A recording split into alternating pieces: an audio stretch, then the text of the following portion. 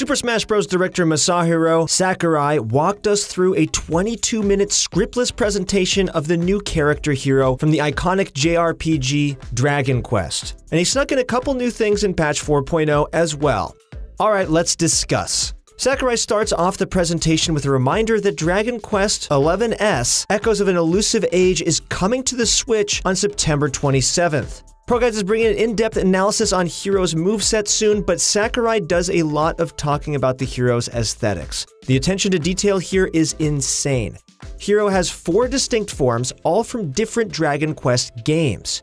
The first hero, Eleven, is from the soon to be released Dragon Quest game, Dragon Quest XI S Echoes of an Elusive Age. He's voiced by Mitsugi Saiga.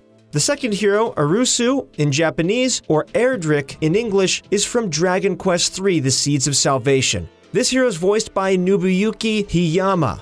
The third hero, Solo, hails from Dragon Quest IV, Chapters of the Chosen, and is the ancestor of the bride from Dragon Quest V, Hand of the Heavenly Bride, voiced by Takeshi Kusao. And the fourth hero, 8, also joined by hamster friend Munchie, comes from Dragon Quest VIII, Journey of the Cursed King. He's voiced over by Yuki Kaji. No word on if the mouse will have voice lines. Yggdrasil Altar is from Dragon Quest XI S Echoes of the Elusive Age. This is the stage that you get with Hero as part of the Fighter Pass or from buying the character individually. The stage has a couple of rotating platforms that come in and out of playable areas on the stage. Sakurai notes that all the details that were put into the stage, like the flying creature, Cetacea, who passes by the battle, which takes place sky high over the lands known as Erdrea.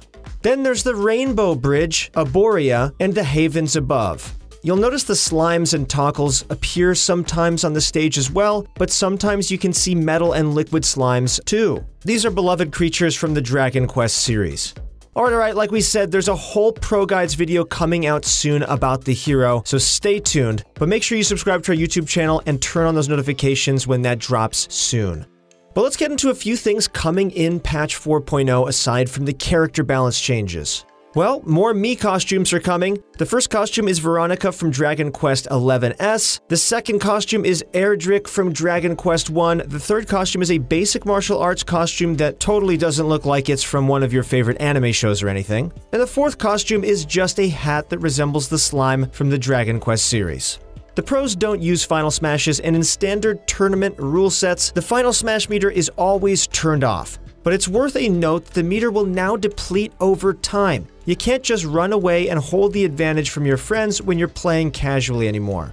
Never got to play World of Light? That's okay. Sakurai mentions that they will be adding a new, very easy difficulty if you want to breeze by most of the hard spirit or boss battles. You can also now bet your coins in the new spectator mode for online matches and try to predict who will win. With these coins, you can buy new spirits and other game items.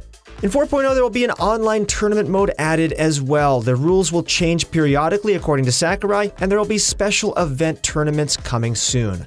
Be sure to enter those tournaments and show everyone that your Ganondorf isn't just a pocket pick. Small changes to the video editor are coming soon as well. You can now add screenshots into your videos, so make sure to screenshot your favorite taunt.